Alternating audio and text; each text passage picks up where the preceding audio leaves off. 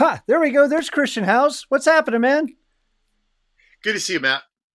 So uh, you have been using Boss ME. You had the ME 70 back in the day, and now you've got an ME 80 as your as your main effects processor for all the crazy stuff that you're doing.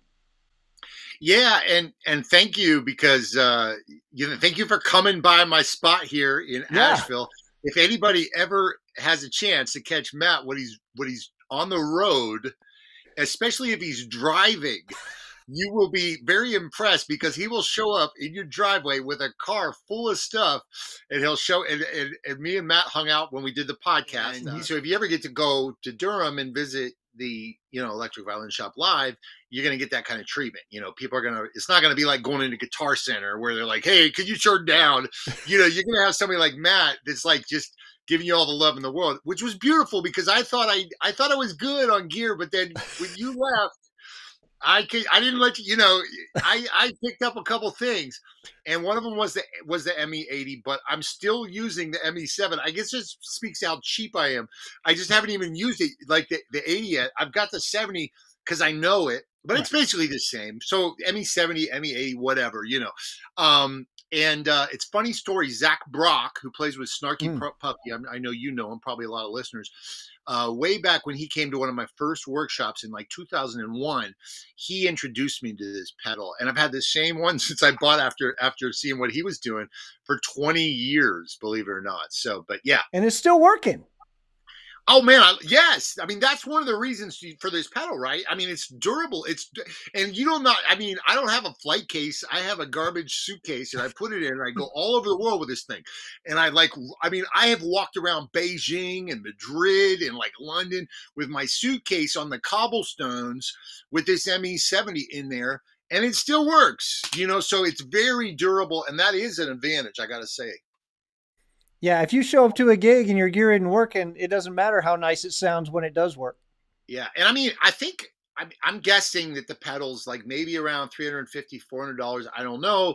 And i mean that's pretty cheap considering that you're getting like for me i would say like a good delay uh, a good dis- couple distortion options.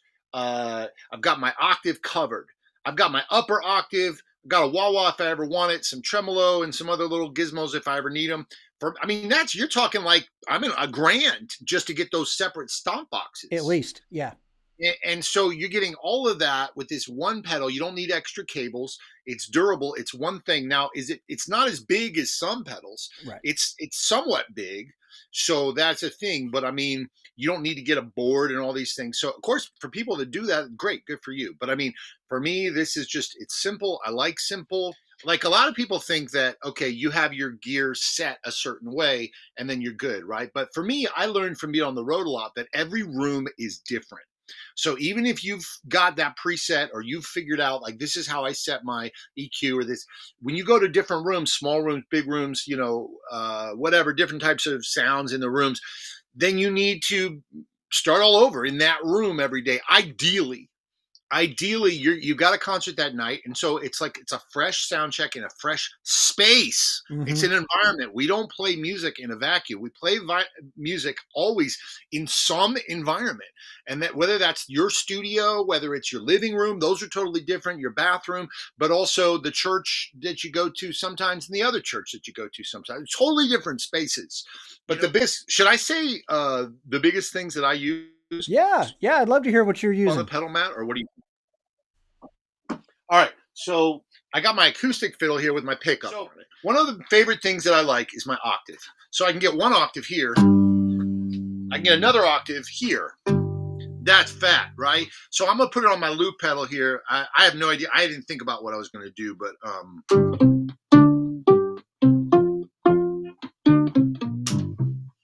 I don't know, whatever. Something in G, right? So that's my loop. That's a fat bass sound. So so now I've got this this is so this is first of all since i like to use the loop pedal this low this double octave below is huge to me right? This is huge to me. And also you guys might notice i'm just using a four string violin right here right? And of course I, I dig fives and sixes but you know there's reasons to go four reasons to go five. I'm good. Boom. Low end covered right for my loops and stuff. So i'll just throw a little uh you know something like this next in my loop.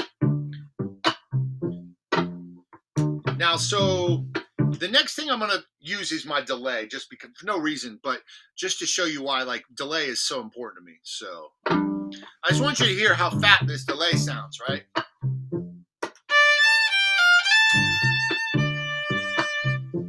Warm, fat.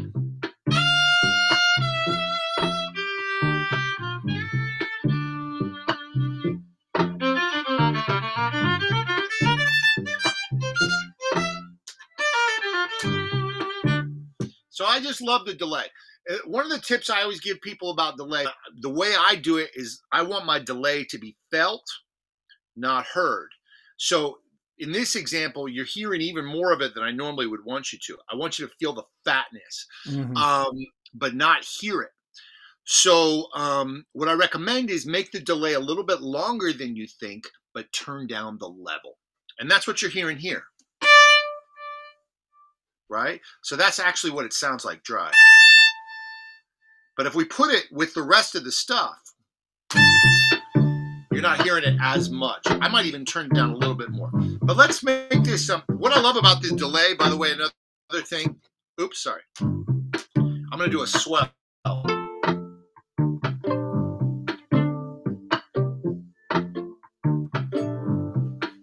Now you got swells right? I mean, that's that's what's up. If I want, I can record that wah. I'll just throw down a little bit of it.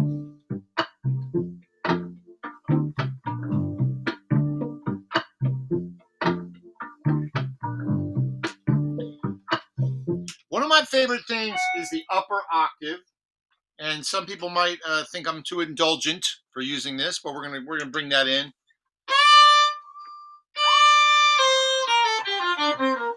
You would only hear the upper octave if I was using a solid body. My solid body, I've got it here, but I'm not. I just didn't set it up. Everybody probably knows, but I use Yamaha. I love Yamaha. But if I was using this Yamaha, you wouldn't hear the original right. sound from my acoustic. You would just hear the upper octave. But I also like the blend.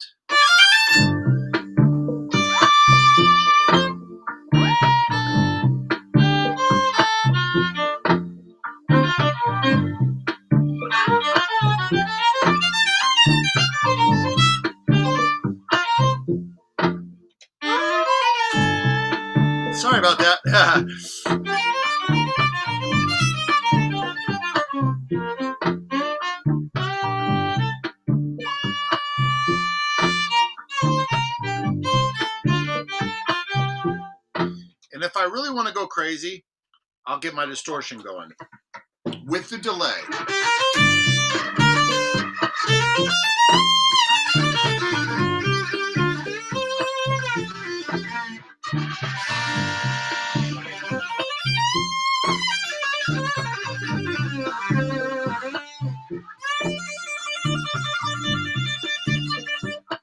Obviously, we can get some wah going with that if we want, you know.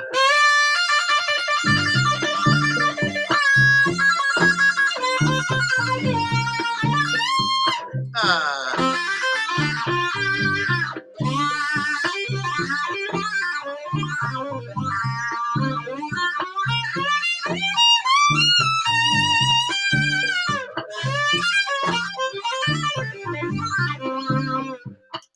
we can turn the wah off. We can go back to that um, that uh, octave and distortion, and that's about all I've got.